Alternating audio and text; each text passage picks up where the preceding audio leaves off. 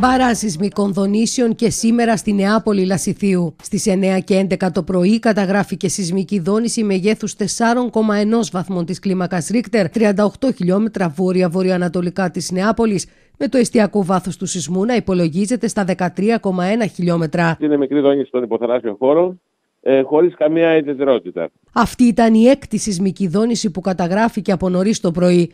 Από τα ξημερώματα ως και περίπου τις 9 και 20 το πρωί είχαν καταγραφεί 7 δονήσεις από 2 έως 4,1 ρίκτερ.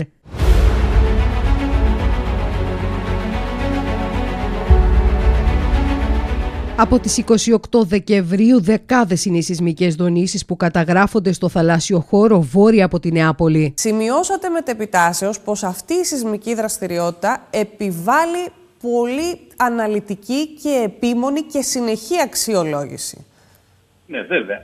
Και αυτό επιβάλλεται όχι μόνο ε, εδώ στη χώρα μας όταν ε, υπάρχουν ε, εστίες σεισμών, ε, σε όλο τον κόσμο. Αυτό πρέπει να γίνεται και αυτό γίνεται. Όταν υπάρχει η επιμονή της σεισμικής δραστηριότητας, τότε αυτό μας συμβάλλει σε προβληματισμό και κατά συνέπεια επιβάλλεται η καθημερινή επικαιροποίηση της αξιολόγησης την οποία κάνουμε για την πορεία των φαινομένων. Οι επιστήμονες παρακολουθούν το φαινόμενο και είναι καθησυχαστικοί. Αυτές τις δονήσεις οι οποίες εκδηλώνουν το τελευταίο χρονικό διάστημα στην Κρήτη ε, τις θέλουμε, τις αναζητούμε γιατί υπάρχει μια σταδιακή εκτόνωση των γενικότερων τάσεων στην περιοχή. Συνεπώς ε, δεν υπάρχει κανένας λόγος απολύτως ανησυχία. Όπως σημειώνουν οι επιστήμονες, το σημείο που εντοπίζεται το επίκεντρο της σεισμικής ακολουθίας είναι αρκετά μακριά από κατοικημένες περιοχές. Κύριε Παπαδόπουλε, στο παρελθόν η συγκεκριμένη περιοχή έχει δώσει δραστηριότητα και αν ναι, ποιο ήταν το μέγιστο; Έχει δώσει δραστηριότητα, όχι με ιδιαίτερα μεγάλα μεγέθη.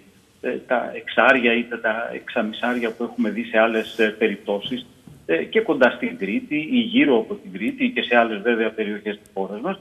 Ε, εάν θυμάμαι καλά έχουμε φτάσει μέχρι το 5 ίσως και λίγο περισσότερο. Όμως το ιστορικό παρελθόν μιας συγκεκριμένης σεισμικής αιστείας δεν αποτελεί εγγύηση για αυτό που πρόκειται να ακολουθήσει στο μέλλον. Δεν είναι δυνατόν δηλαδή να πούμε με ασφαλή τρόπο «Α, ξέρετε, στο παρελθόν δεν είχε κάνει ποτέ ισχυρό σεισμό, και άρα δεν θα κάνει ποτέ στο μέλλον.